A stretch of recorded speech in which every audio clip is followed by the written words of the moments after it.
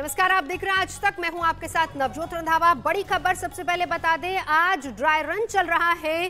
Corona vaccine को लेकर कैसे आगे वैक्सीनेशन की शुरुआत होगी, लेकिन इस बीच केंद्रीय स्वास्थ्य मंत्री डॉक्टर हर्षवर्धन ने एक बड़ा बयान दिया है। उन्होंने कहा कि पूरे देश में कोरोना वैक्सीन मुफ़्त में दी जाएगी, यानी ये टीका मुफ़्त में लोगों को मिलेगा। ये बड़ी बात है, कोरोना वैक्सीन पर स्वास्थ्य मंत्री का ये बड़ा ऐलान है।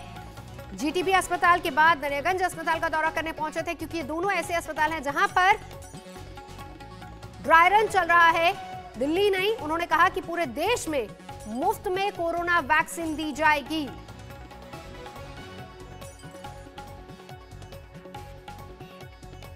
सर वैक्सीन जो है वो फ्री होगी लोगों के लिए या उन्हें कीमत देनी पड़ेगी? दिल्ली में जैसे फ्री है। दिल्ली में नहीं सारे देश में फ्री है। सर सर एक मिनट सर भारत सरकार सर वैक्सीन जो है वो फ्री होगी लोगों के लिए या उन्हें कीमत देनी पड़ेगी? दिल्ली में जैसे फ्री है। दिल्ली में नहीं सारे देश में फ्री है। सर सर एक मिनट सर। भारत सरकार एक ये खुशखबरी कि मुफ़्त में मिलेगी वैक्सीन और अब वो खुशखबरी भी आ गई है जिसका सबको इंतज़ार था। देखिए हमारी खास पेशकश।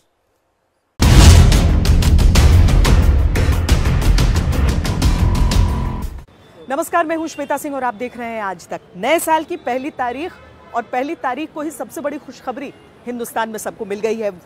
खुशखबरी ये कि आपात इस्तेमाल की इजाज़त, कोरोना की पहली वैक्सीन को भारत में मिल गई है। दरअसल 30 जनवरी वो तारीख थी जब पहली बार एक व्यक्ति संक्रमित हुआ था, यानी हिंदुस्तान का पहला पेशेंट। उसके बाद 10 मार्च जब पहली बार एक कोरोना पेशेंट ने अपने प्राण त्यागे, तब से लेकर अब तक लगभग डेढ़ लाख लोग अपनी जान गंवा चुके हैं इस कोरोना नाम की महामारी से। लेकिन आज की तारीख में पूरा हिंदुस्तान उस लड़ाई को लड़ने के लिए तैयार है, जब कोरोना को हम सब मिलकर शिकस्त देंगे। लेकिन आपके लिए ये जान लेना बहुत ज़रूरी है कि इस वैक्सीन के आने के बाद अब आपकी ज़िंदगी में क्या क्या बदलने वाला है क्या क्या होने वाला है, कैसे आपको मिल सकती है ये वैक्सीन। अगले एक घंटे में ये सारी चीज़ें आपके साथ।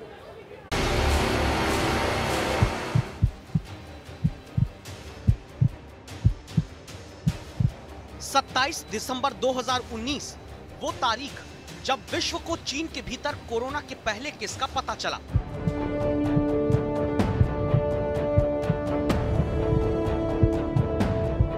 करीब एक महीने बाद 30 जनवरी 2020 जब भारत में कोरोना का पहला केस सामने आया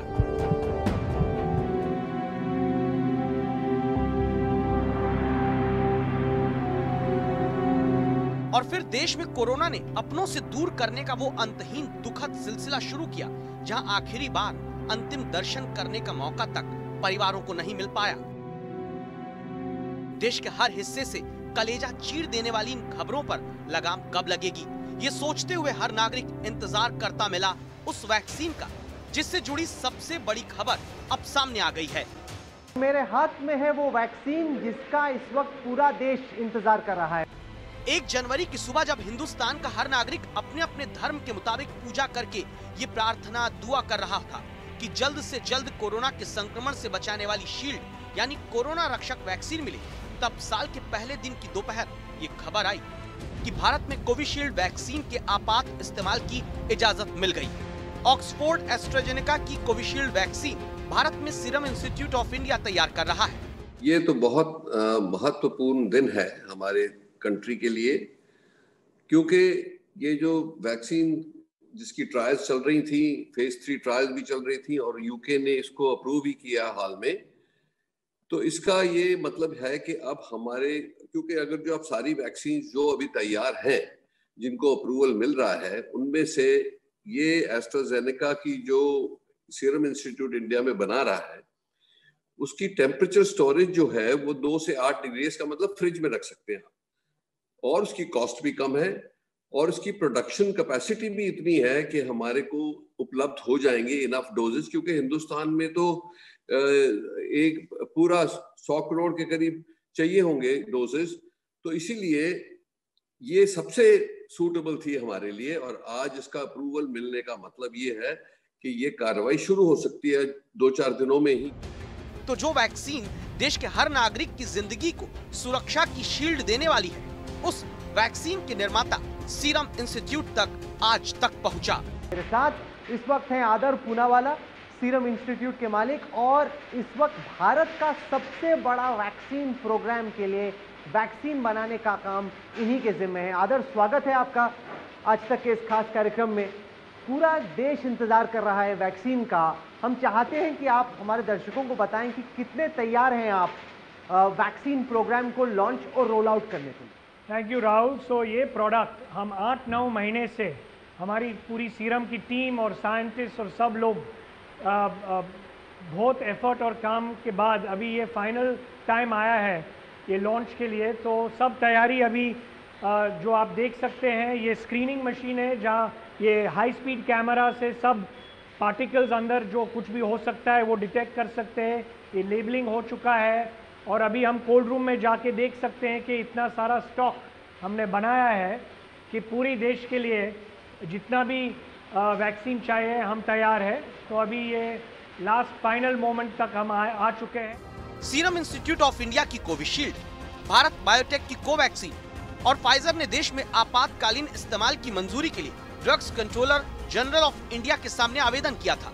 एक्सपर्ट पैनल ने इसके बाद कोविशील्ड वैक्सीन को भारत में इजाज़त दी है। दावा है कि कोविशील्ड की पाँच करोड़ से ज़्यादा डोज तैयार हो चुकी है, जिससे ढाई करोड़ लोगों को कोरोना से बचाने वाली वैक्सीन लगाई जा सकती है।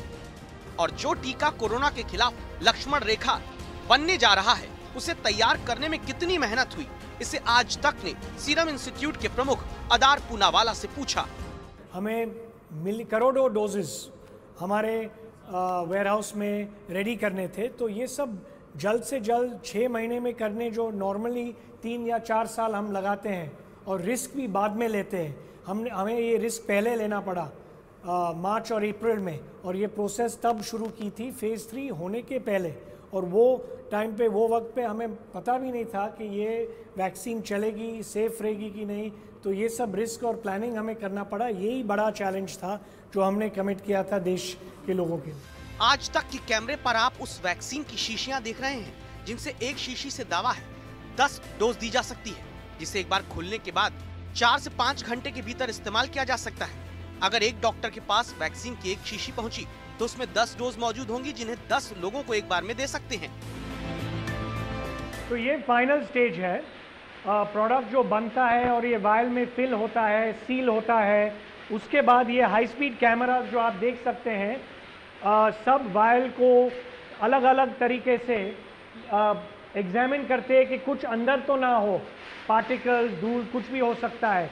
तो यहाँ रिजेक्टेड आता है यहाँ एक्सेप्टेड आता है। जो रिजेक्टेड है वो कचरे में हम फेंकते हैं क्योंकि सेफ्टी सबसे बहुत इम्पोर्टेंट है आ, लोगों की सेफ्टी तो ये सारे एक्सेप्टेड वाले हैं।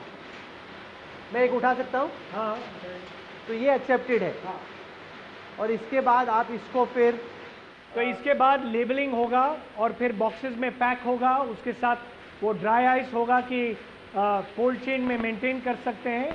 और फिर रेफ्रिजरेटेड ट्रक्स में एसी के ट्रक्स में पूरी देश में जाएगा और गवर्नमेंट के कोल्ड रूम्स में स्टोर होएगा।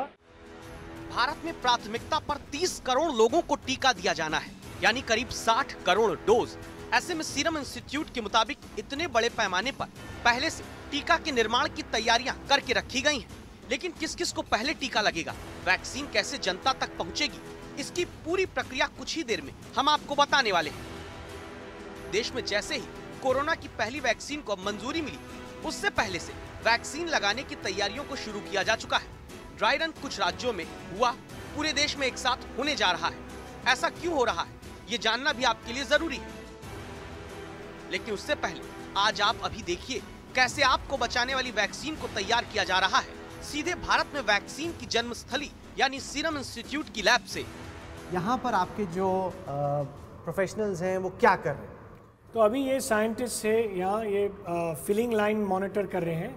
ये लाइन पे पाँच हज़ार डोज कोविड वैक्सीन के हर मिनट में फिल होते हैं और ये ग्लास वायल में जाते हैं जहाँ आपने वो स्क्रीनिंग देखा था और लेबलिंग देखा था। तो ये फिलिंग पार्ट है, जो वो वैक्सीन फिल होती है और उसके बाद स्क्रीनिंग और टेस्टिंग होता है। वैक्सीन के फिलिंग एरिया में भी हम पहुँचे। पहले तैयार हुए सुरक्षा के मानकों के आधार पर। यहाँ तक आपके लिए पहुँचने की एक बहुत खास वजह है। वो कारण है, कोरोना से तो बच गए वैक्सीन से तो खतरा नहीं होगा। क्योंकि देश में काफ़ी लोगों के मन में ये सवाल भी वायरस की तरह ज़िंदा है कि जब दूसरे बड़े रोगों की वैक्सीन वर्षों तक रिसर्च के बाद बनी तो फिर कोरोना से बचाने वाला टीका चंद महीनों में बनकर क्या सुरक्षित है? मेरे को चिंता साइड इफेक्ट्स की है। अमूमन वैक्सीन बनने में 10 से 15 साल का आरएनडी होता है ट्रायल्स होते हैं। ये तो साल भर के अंदर वैक्सीन वायरस आया लोगों ने उसको डिकोड किया जीनोम को और फिर वैक्सीन भी बना दी अब रोल आउट भी हो रहा है। ये जो जल्दबाजी में काम हुआ है वो कितना सेफ़ है? ये जो वैक्सीन हम बना रहे हैं बिल्कुल सेफ्टी का सबसे हाईएस्ट प्रायोरिटी ये हमें आ, इसमें हमने रिसर्च किया है नौ महीने गए हैं इसमें। और जो भी साइड इफ़ेक्ट्स छोटे मोटे होते रहते हैं वो सब वैक्सीन के साथ होते हैं। हमें ये हमेशा याद रखना चाहिए कि सब वैक्सीन में थोड़ा फीवर थोड़ा हेडेक वो तो हो ही सकता है। मगर कोई भी खतरा जान को खतरा नहीं है long term side effects long term side effects भी सब वैक्सीन में हमने देखे कि कुछ लॉन्ग टर्म साइड इफ़ेक्ट्स नहीं है। अभी हज़ारों लोगों में ये वैक्सीन गया है। चार पाँच महीने का फॉलोअप हुआ है और जैसे एक दो साल टिकेंगे, जाएँगे, हमें और भी सेफ्टी का डेटा है वो डेटा तो आएगा, तब तक अपने को तो टीका लग गया ना बॉस अब लॉन्ग टर्म साइड इफ़ेक्ट तो सिर्फ़ लॉन्ग टर्म में ही पता चलेंगे। अभी आप लोगों ने बोला कि शॉर्ट टर्म में कुछ नहीं है। आगे चल के तीन साल बाद, चार साल बाद कोई साइड इफ़ेक्ट हुआ, तब तक तो इतने सारे लोगों को लग गया टीका। नहीं जनरली कुछ भी इश्यू होगा तो पहले सात दिन में वैक्सीन का होता है।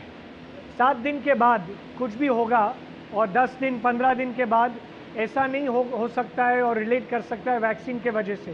क्योंकि ये जो वैक्सीन है, जो आपके बॉडी में जाता है वो तो डेड वायरस है नहीं तो लाइव एटीन्यूएटेड वायरस है नॉन रेप्लिकेटिंग वायरस है। तो जो रेप्लिकेट नहीं होता है तो फिर लॉन्ग टर्म में भी सेफ्टी की इतनी इश्यू नहीं है। अब सबसे ज़रूरी सवाल, आपको ये वैक्सीन कितने रुपए में मिलने की उम्मीद है? दावा है सीरम इंस्टीट्यूट भारत सरकार को एक डोज दो सौ में देगी, यानी दो डोज की वैक्सीन चार सौ में। लेकिन ये दाम सिर्फ़ सरकार के लिए है, क्योंकि सरकार तो सीरम इंस्टीट्यूट से करोड़ों डोज खरीद रही है। दावा है कि अगर कोई प्राइवेट कंपनी वैक्सीन की डोज खरीदती है तो एक हज़ार रूपए एक डोज के देने होंगे। यानी किसी प्राइवेट जगह से वैक्सीन लेने का खर्च दो डोज के आधार पर दो हज़ार रुपए कम से कम हो सकता है। लेकिन आगे सरकार मुफ़्त में वैक्सीन देगी या जिस दाम पर खरीदा है, उसी पर जनता को टीका लगाया जाएगा। इसका जवाब मिलना भी बाकी है। लेकिन सबसे ज़रूरी बात ध्यान रखिए। पहले मैं कहता था, दवाई नहीं तो ढिलाई नहीं। लेकिन अब मैं फिर से कह रहा हूँ, दवाई भी और कड़ाई भी। कड़ाई भी बरतनी है और दवाई भी लेनी है। दवाई आ गई तो सब छूट मिल गई, ये भ्रम में मत रहना। दुनिया यही कहती है, वैज्ञानिक यही कहते हैं। और इसलिए अब मंत्र रहेगा हमारा 2021 का, दवाई भी और कड़ाई भी। कोरोना की वैक्सीन आई है। लेकिन कोरोना भी खत्म नहीं हुआ है। दवा आपको कोरोना से बचाएगी। लेकिन अपना रूप बदलते कोरोना के सामने दवा का टीका और सावधानी का टीका दोनों ज़रूरी है। राहुल कंवल, आज तक।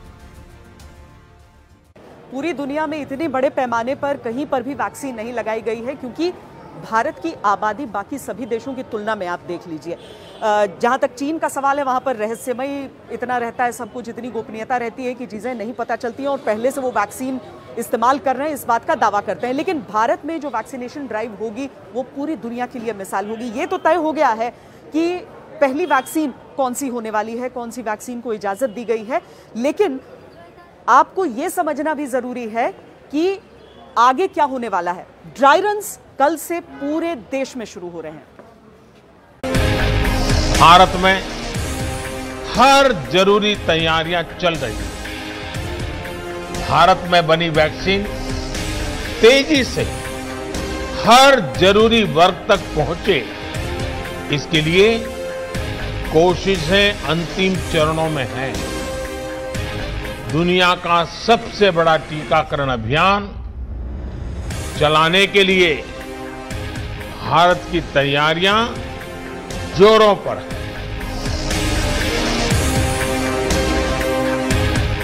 कोरोना महामारी पर निर्णायक वार के लिए जिस तैयारी का ज़िक्र प्रधानमंत्री ने किया, ये उसी की तस्वीरें हैं। जिसमें रत्ती भर भी गुंजाइश न रह जाए, इसके लिए मेडिकल स्टाफ एक बार फिर फ्रंट लाइन पर है।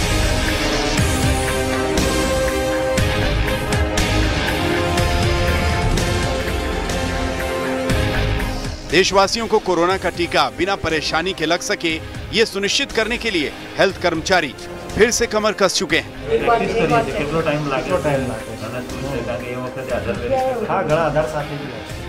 लेकिन सवाल यह है कि इस डीप फ्रीजर में रखा जाने वाला कोरोना का टीका कब कैसे और किसे लगेगा? वैक्सीन सेंटर जाने पर क्या होगा? इसे लेकर न सिर्फ़ पूरा रोड मैप तैयार है बल्कि करोड़ों लोगों को कोरोना की दवा की डोज देने के लिए युद्ध स्तर पर तैयारी की जा रही है। देश के चार राज्यों, पंजाब, असम, गुजरात और आंध्र प्रदेश में ड्राई रन किया जा चुका है। जिसके अच्छे रिज़ल्ट सामने आने के बाद अब पूरे देश को इसके लिए तैयार किया जा रहा है। ये जो एक्सरसाइज है, इसका उद्देश्य भी यही है कि हम, हमारी हर बारीक से बारीक जो एस्पेक्ट्स हैं उनको पूरी अच्छी तरीके से उनका अध्ययन कर लें जहाँ जहाँ हमें वैक्सीनेशंस करने हैं, उन वैक्सीनेशन के जो साइट्स हैं वैक्सीनेशन की जो टीम्स हैं, उन साइट्स के ऊपर जो माइन्यूट से माइन्यूट बातों को ख्याल करना है ये तैयारी इसलिए ज़रूरी है क्योंकि 40 करोड़ लोग वैक्सीन की प्राथमिकता लिस्ट में शामिल हैं। सबसे पहले एक करोड़ सरकारी और प्राइवेट हेल्थ वर्कर्स को कोरोना की दवा पिलाई जाएगी। दूसरे नंबर पर पुलिस, होमगार्ड और फ्रंट लाइन वर्करों का नंबर है, जिनकी संख्या दो करोड़ है। इसके बाद बारी 50 साल से ज़्यादा उम्र दराज लोगों की है। इस तरह ये दुनिया का सबसे बड़ा टीकाकरण अभियान होगा।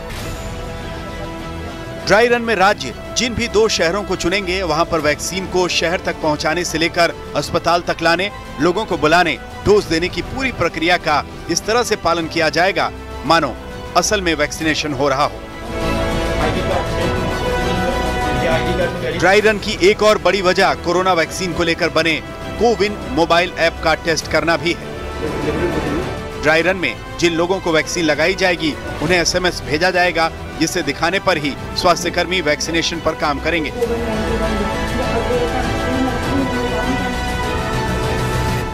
हर वैक्सीनेशन सेंटर में तीन कमरे होंगे, जिनमें आने और जाने का रास्ता अलग होगा।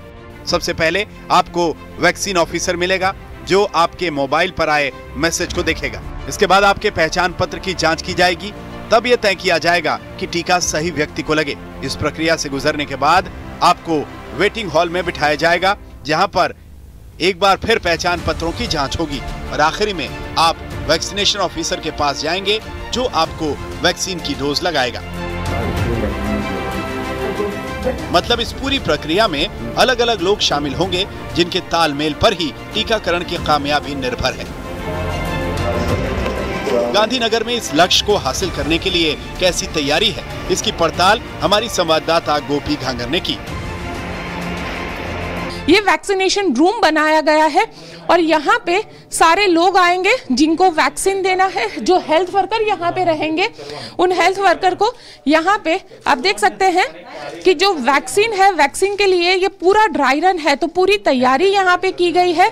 और उनको किस तरीके से हाथों में सैनिटाइज लगाना, वैक्सीन के लिए इंजेक्शन तैयार करना, साथ ही उनका जो पूरा डेटा है, उस डेटा को इसमें फिल किया जा रहा है। मैम ये बताइए, इसमें क्या क्या डेटा रहता है?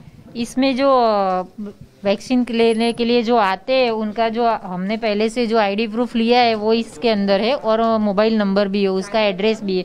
तो ये ऐप के अंदर ये वेरीफाई करना होता है और जब वैक्सीन देते हैं तो उसके अंदर ये यश करके आगे जाने को होता है। मैम ये रिसीद उनको दी जाती है इसमें क्या क्या जानकारी रहती है? इसमें उनका नाम है कौन सी कंपनी की वैक्सीन देने हैं वो लिख कंपनी का नाम लिखना है और जो नेक्स्ट टाइम आने का है वो इसमें लिखा है कि आपको उनको एसएमएस द्वारा मैसेज मिल जाएगा नेक्स्ट वैक्सीन लेने के लिए कब आना है वो इसमें लिखा है।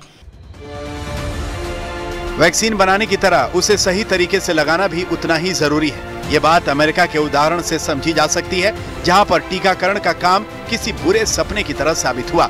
अमेरिकी सरकार ने अमेरिकी जनरल गुस्ताव पर्न के कंधों पर इसकी ज़िम्मेदारी सौंपी थी, लेकिन विशेषज्ञों का कहना है कि इस फैसले से अमेरिका के वैक्सीनेशन का काम अफ़गानिस्तान में सैन्य ऑपरेशन से ज़्यादा घातक साबित हुआ।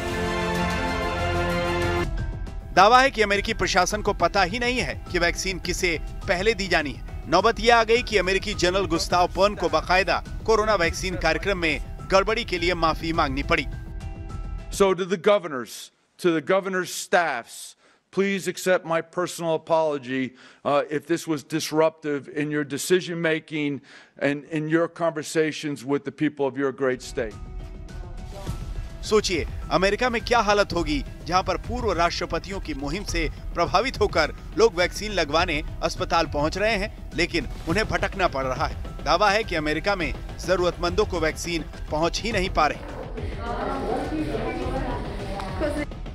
भारत में ऐसा ना हो, इसके लिए ही ड्राई रन किया जा रहा है, ताकि जब टीकाकरण का काम शुरू हो तो हेल्थ वर्कर्स न सिर्फ़ पहले से तैयार हों, बल्कि अपनी कमियों पर भी काम कर चुके हों। अच्छी बात यह है कि भारत को टीकाकरण के मामले में काफ़ी अनुभव है, जो इस बार बहुत काम आने वाला है। इतने लोगों को दो दो डोज देना और वो भी हिंदुस्तान जैसे देश में सुदूर एरियाज़ तक फैले हुए लोगों को देना, ये अपने आप में एक बहुत ही विशाल प्रोग्राम है। लेकिन खुशी की बात यह है कि हमारा देश इस तरह के विशाल वैक्सीनेशन प्रोग्राम को चलाने का एक्सपीरियंस रखता है और करोड़ों डोजेजेस वैक्सीन की हमारे यहाँ प्रेग्नेंट मदर्स को और बच्चों को प्रतिवर्ष लगती हैं। और भारत सरकार ने कई महीनों से ऐसा नहीं है कि ये आज हुआ आज तो अप्रूवल हुआ है, लेकिन इसकी तैयारी भारत सरकार ने, राज्य सरकारों ने कई महीने पहले से शुरू कर दी थी। वैक्सीनेशन की इस पूरी प्रक्रिया में डिजिटल प्लेटफॉर्म कोविन भी अपनी अहम भूमिका निभाएगा, जिसकी मदद से वैक्सीन लगने वालों की सभी जानकारियाँ रियल टाइम में अपडेट की जाएँगी। गांधीनगर से गोपी घांगर, दिल्ली से मिलन शर्मा, ऐश्वर्या पालीवाल और पंकज जैन के साथ आज तक ब्यूरो। तो वैक्सीन लगेगी, ये हमने आपको बता दिया। वैक्सीन कैसे लगेगी, क्या तैयारियाँ उसकी हो रही हैं, ये भी आपको बता दिया। लेकिन एक और तैयारी है जो बहुत ज़्यादा ज़रूरी है, वो ये कि भ्रम और अफवाहों से बचना है। देश में वैक्सीन को इजाज़त मिल गई है इमरजेंसी इस्तेमाल के लिए और उससे जुड़ी हुई तमाम जानकारियाँ हम आपको दे रहे हैं।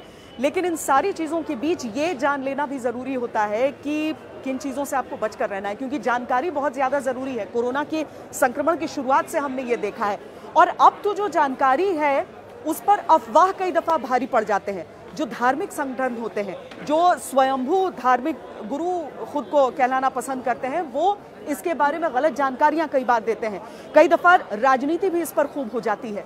लेकिन इन सारी चीज़ों के बीच हम सबको ये समझना है कि अगर दुनिया भर के वैज्ञानिकों ने मिलकर रिकॉर्ड टाइम में एक वैक्सीन को तैयार किया है तो वो वैक्सीन उनके अथक परिश्रम का नतीजा है और पूरे मानवता को बचाने के लिए उसका निर्माण किया गया है। इसीलिए उन अफवाहों से बचना है, उस भ्रम से बचना है और तैयार रहना है उस वैक्सीनेशन ड्राइव के लिए जो सबका सबसे बड़ा हथियार होगा। कोरोना नाम की इस महामारी के सामने। पेट्रोल डाल के आना मेरी औलाद है मैं पिलाऊँगी पिलाऊं मेरी औलाद कैंसर से मरे पोलियो से मरे टीबी से मरे मैं जिम्मेदार हूँ हुकूमत नहीं है। अच्छा आप क्यों नहीं पिलवाती हैं? आप मुझे वजह बताएँगी थोड़ी। मेरे बच्चों को मौसम लग जाते हैं। अब मेरे पास इतने नोट नहीं है जो मैं अपने बच्चों के ऊपर हॉस्पिटलों में जा जाके लगाऊँ। पोलियो के कतरे नहीं पिलवाऊँगी नहीं पिलवाऊँगी। लेकिन ये तो एक वैक्सीन से तकरीबन यहाँ के पूरे गली तकरीबन जो है ना पीते बीस बच्चा पीता है गली पूरा पाकिस्तान पिलवाए जरदारी पिए नवाज़ शरीफ पिए अल्ताफ हुसैन पिए बेनजीर को ज़िंदा करके पिलवा दो। मैं नहीं पिलवाऊँगी नहीं पिलवाऊँगी नहीं पिलवाऊँगी पाकिस्तान में पोलियो के टीके को लेकर भ्रम और अफवाह की शिकार होती ऐसी ही जनता ने बीमारी को और पनपने दिया। पूरा पाकिस्तान मिलवाए। जरदारी पिए नवाज़ शरीफ पिए अल्ताफ हुसैन पिए बेनजीर को ज़िंदा करके मिलवा दो। मैं नहीं मिलवाऊँगी नहीं मिलवाऊँगी नहीं मिलवाऊँगी। तो क्या भारत में भी जब कोरोना की पहली वैक्सीन को मंजूरी मिल गई तो कुछ अफवाहबाजों और धर्म के नाम पर भ्रम फैलाने वाले वायरस रूपी इंसानों के कारण परेशानियाँ हो सकती हैं। सुअर के किसी भी अज्जा से बनाई गई हों वो इस्लाम में ऐसी चीज़ों का इस्तेमाल करना हराम है। वैक्सीन बनाया है उसको हर किस ना मंगाए। ये शुद्ध रूप से लोगों की सेहत और सलामती के लिए है वैक्सीन। और जो लोग भी दुष्प्रचार कर रहे हैं दुनिया की बेहतरी के दुश्मन हैं। चाहे उसका खून हो उसकी चर्बी हो उसकी हड्डी हो या उसका गोश्त हो। अगर उसमें शामिल है तो सुअर मुसलमानों के नज़दीक हराम है हराम है हराम है। लिहाजा किसी भी दवा या वैक्सीन या किसी भी चीज़ में खंजीर का कोई भी जुज इस्तेमाल किया जाए वो बिल्कुल नापाक और हराम है। हरियाणा के मंत्री विज साहब शोहरत पाने के लिए उन्होंने अपना वैक्सीन लिया। और उनको कोविड हो गया। एक्सप्लेन किए कर रहे हैं कि नहीं साहब वो सेकेंड डोज के बाद इतने दिनों बाद। सुअर के मांस से बनी हो चाहे गधे के मांस से बनी वैक्सीन आ गई है ना? हिंदुस्तान में इक्कीसवीं सदी के इक्कीसवें साल की सुबह कोरोना से बचाने वाले भारत के पहले टीके की किरणें फैलने की खबर आने के साथ हुई। तो अब ज़रूरी हो गया है कि अफवाह की मिलावट टीके में करने वालों से सावधान किया जाए। किसी को बुरा दिखाने के लिए सामान्य मानवी का कितना नुकसान हो रहा है, इसकी परवाह किए बिना न जाने अनगिनत काल्पनिक झूठ फैलाए जाएँगे। कुछ मात्रा में तो शुरू भी हो चुके हैं। और भोले भाले गरीब लोग या कुछ बद इरादे से काम करने वाले लोग बड़े कन्विक्शन के साथ इसको फैलाते हैं। मेरा देशवासियों से आग्रह होगा कि कोरोना के खिलाफ, एक अनजान दुश्मन के खिलाफ लड़ाई है। अफवाहों के बाज़ार गर्म न होने दें। हम भी सोशल मीडिया में कुछ भी देखा बिना फॉरवर्ड न करें। प्रधानमंत्री तक को ये बात इसलिए कहनी पड़ी क्योंकि भारत में वैक्सीनेशन शुरू होने से पहले अफवाहों का सर्कुलेशन तेज़ी से हुआ। ताज़ा मामला भारतीय सूफी मुसलमानों की संस्था रजा अकादमी से जुड़ा है। जिसने विश्व स्वास्थ्य संगठन को चिट्ठी लिखकर वैक्सीन के निर्माण में सुअर से निकले अर्क के इस्तेमाल की आशंका जता दी। हुकूमत हिंद से भी हमारी गुजारिश है कि चाइना ने जो वैक्सीन बनाया है जिसके ताल्लुक से ये है कि उसमें सुअर के अज्जा इस्तेमाल किए गए हैं उसको हरगिज ना मंगाए। पूरा विवाद शुरू हुआ था इंडोनेशिया से।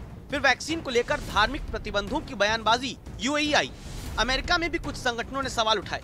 इसके बाद भारत में कई धर्मगुरु टीका पर धर्म की पाबंदियों की टीका टिप्पणी करने लगे। कुरान में हुक्म है रसूल वसल्लम का हदीस में हुक्म है जो एक सुवर और उसकी कोई भी पार्टिकल कोई भी एलिमेंट और इंग्रेडिएंट एक मुसलमान के लिए उसका किसी भी तरह से उसका यूज़ उपयोग, उसका हराम और अवैध है, मुसलमान उसको नहीं यूज़ कर सकता, उसका इस्तेमाल नहीं हो सकता। इंजेक्शन की ज़रूरत अगर उस मरीज़ को हो जो बिल्कुल मरने वाला हो और इस इंजेक्शन को लगाने के बगैर वो बच नहीं सकता तो उस वक्त अगर डॉक्टर सलाह देते हैं कि ये इंजेक्शन लगा लिया जाए तो उसकी जान बचाने के लिए वो इंजेक्शन लगाना ज़रूरी है, ताकि उस मरने वाले आदमी की जान बच सके, उस वक्त तो ये इंजेक्शन उसके लिए जायज़ होगा। लेकिन एक तंदुरुस्त, तवाना आदमी उसको लगाए, उसके लिए ये जायज़ नहीं होगा। अगर सुअर की चर्बी वाली कोई शय भी मुसलमान अगर इस्तेमाल करता है तो वो उसके लिए हराम है। तो इस बात की वजाहत ज़रूरी है। अगर कोरोना वैक्सीन में सुअर की चर्बी है तो वो मुसलमानों के लिए उनकी ईमान से टकराव होगा। दरअसल सुअर के मीट से बने जेलेटिन का इस्तेमाल स्टोरेज और ट्रांसपोर्ट के दौरान सुरक्षित रखने के लिए होता रहा है। इसी आधार पर पहले भी कई मुस्लिम संगठन वैक्सीन का विरोध करते रहे। इस बार इंडोनेशिया के मुस्लिम धर्मगुरु चीन से जब वैक्सीन लेने पहुँचे तो एक बार फिर ऐसी वैक्सीन लेने से इनकार किया, जिसमें जिलेटिन का इस्तेमाल हुआ हो। बस इसी के बाद कौआ कान ले गया वाली कहावत के आधार पर, बिना सच जाने देश के कई धार्मिक संगठन भारत में भी वैक्सीन के ऊपर धर्म का इंजेक्शन लगाने लगे। तो ऐसी चीज़ें जो सुअर के किसी भी अज्जा से बनाई गई हों, वो इस्लाम में ऐसी चीज़ों का इस्तेमाल करना हराम है। तो ऐसी वैक्सीन जो भी कंपनियाँ बना रही हैं, उनको जो है सुअर के मांस से जो है परहेज़ करना चाहिए। और भी दूसरी बहुत सारी चीज़ें हैं, उनसे वैक्सीन तैयार हो सकती है, लेकिन इससे परहेज़ करने की ज़रूरत एक विशेष धर्म के भीतर ही सबसे ज़्यादा इसका विरोध दिख रहा है। इसका कारण क्या? जानकार कहते हैं वजह है साक्षरता कम होना, गरीबी ज़्यादा होना और सोशल मीडिया का सबसे ज़्यादा प्रभाव। 2011 की जनगणना के मुताबिक देश में मुस्लिम आबादी 17 करोड़ 22 लाख है। एक चौथाई यानी सवा चार करोड़ लोग गरीबी रेखा से नीचे हैं। रिसर्च बताती है कि आधी मुस्लिम महिलाएँ साक्षर तक नहीं है। इसलिए अगर इस तरीके का डिस्कशन होगा, इस तरीके की अफवाहें फैलाई जाएँगी और एक वैक्सीन के आने से पहले ही उस पर इस तरीके की गुफ्तु शुरू हो जाएगी तो मुझे लगता है कि फिर आवाम में बहुत हद तक कन्फ्यूज़न पैदा होगी। और अगर इस तरीके की कन्फ्यूज़न पैदा होती है तो जिस तरीके से आपने देखा कि पोलियो के सिलसिले में हमारा हिंदुस्तान दसों साल पीछे चला गया और फिर कई लोग उससे अपाहिज भी हुए और इस तरीके की कन्फ्यूज़न ने पोलियो की, पोलियो जैसी बीमारी को बढ़ने में बहुत मदद की। तो मेरा ये मानना है कि शरीयत में बहुत से मामला में आसानियाँ पैदा की हैं। तो शरीयत के जो आसानी वाले मामला हैं, उनको देखते हुए इस पर बहुत ज़्यादा डिस्कशन करने की ज़रूरत नहीं है। तमाम हजरात से ये अपील करता हूँ इस कोरोना वबा से निपटने के लिए आप हजरात वैक्सीन ज़रूर लगवाएँ और किसी भी जिस तरीके की लोग भ्रम पैदा कर रहे हैं गुमराही और इस तरीके की अफवाहें उड़ा रहे हैं तो इसके ऊपर कतई ध्यान न दें और आप डब्ल्यूएचओ की जो गाइडलाइन है उसके ऊपर अमल करें। बावजूद इसके जब देश में वैक्सीन के ड्राई रन तक की शुरुआत होने जा रही है तो किंतु परंतु लगाकर भ्रम फैलाने में कुछ लोग जुटे हैं। अगर ये नाजायज और हराम चीज़ है और ये पक्की बात है तो मैं तो यही कहूँगा कि नाजायज चीज़ का इस्तेमाल नहीं होना चाहिए क्योंकि और भी पेथियाँ और भी इलाज मौजूद ऐसे ही भ्रमों और अफवाहों के कारण कोरोना की जाँच के दौरान देश ने देखा था कैसे कुछ गलियों में संक्रमण की जाँच करने गई मेडिकल टीम पर पत्थर फेंक कर हमला तक किया गया जब टीका आने की खबर आ गई। तो सरकार ने भी जनता को अफवाहों की वैक्सीन से दूर रहने की नसीहत दी है। ये सब इमेजिनरी सिचुएशंस इमेजिनरी बातें इमेजिनरी पैनिक इन सब के अंदर आप अपने आप को मत उलझाइए। वैक्सीनेशन की इस पूरी प्रक्रिया में निश्चित तौर पर स्वास्थ्य कर्मियों को इस बात की भी ट्रेनिंग दी गई होगी जहाँ वो जनता को वैक्सीन पर झूठ की सिरिंज से बचाकर टीका लगा पाएँगे। आज तक ब्यूरो दुनिया के कई देश इस समय वैक्सीनेशन को अंजाम दे रहे हैं। लाखों लोगों को अभी तक पूरी दुनिया में वैक्सीन लग चुकी है। लेकिन भारत की जो वैक्सीनेशन ड्राइव है, वो बाकी देशों से ज़्यादा चुनौतीपूर्ण है और काफ़ी हद तक अलग है और बहुत सारे संदेश हैं इसमें छुपे हुए, बहुत सारे सीख हैं जो कई देश हमसे ले सकते हैं। हम आपको एक तुलनात्मक विश्लेषण दिखाते हैं, क्योंकि ब्रिटेन ने शुरुआत कर ली है वैक्सीनेशन की, अमेरिका ने कर ली है, कनाडा में हो रही है वैक्सीनेशन लेकिन भारत से अगर हम तुलना करें तो तस्वीर हमारे सामने होती है। ये तुलना आपको देखना ज़रूरी है। पहले मैं कहता था, दवाई नहीं तो ढिलाई नहीं। लेकिन अब मैं फिर से कह रहा हूँ, दवाई भी और कड़ाई भी। कड़ाई भी बरतनी है और दवाई भी लेनी है। दवाई आ गई तो सब छूट मिल गई, ये भ्रम में मत रहना। दुनिया यही कहती है वैज्ञानिक यही कहते हैं। और इसलिए अब मंत्र रहेगा हमारा 2021 का, दवाई भी और कड़ाई भी। साल 2021 आने से चंद घंटे पहले कोविशील्ड को एक्सपर्ट की मंजूरी की सिफारिश से एक दिन पहले प्रधानमंत्री ने बात कही। मौका गुजरात को एम्स की सौगात का था, लेकिन प्रधानमंत्री को कहीं न कहीं कोरोना को लेकर अगली चुनौती की फ़िक्र थी। पहले मैं कहता था, दवाई नहीं तो ढिलाई नहीं। लेकिन अब मैं फिर से कह रहा हूँ, दवाई भी और कड़ाई भी कड़ाई भी बरतनी है और दवाई भी लेनी है। दवाई आ गई तो सब छूट मिल गई, ये भ्रम में मत रहना। दुनिया यही कहती है, वैज्ञानिक यही कहते हैं। और इसलिए अब मंत्र रहेगा हमारा 2021 का दवाई भी और कड़ाई भी। अब सवाल यह है कि जब भारत में कोरोना की पहली वैक्सीन के इमरजेंसी अप्रूवल की उल्टी गिनती शुरू हो चुकी है तब प्रधानमंत्री ने साल 2021 के लिए नया मंत्र क्यों दिया? दवाई आ गई तो सब छूट मिल गई ये भ्रम में मत रहना। दुनिया यही कहती है वैज्ञानिक यही कहते हैं। और इसलिए अब मंत्र रहेगा हमारा 2021 का, दवाई भी और कड़ाई भी। जानकारों का मानना है कि एक्सपर्ट पैनल की सिफारिश के बाद कोविशील्ड के जल्द इस्तेमाल का रास्ता खुल सकता है। इससे पहले अमेरिका में फाइजर और मॉडर्ना की वैक्सीन लगाई जा रही है। ब्रिटेन ने फाइजर और एस्ट्राजेनेका वैक्सीन को मंजूरी दी चीन ने स्वदेशी कंपनी सिनोफार्म की वैक्सीन को कुछ शर्तों के साथ इजाज़त दी है। रूस पहले ही स्वदेशी वैक्सीन स्पुतनिक 5 के ज़रिए मास वैक्सीनेशन कर रहा है।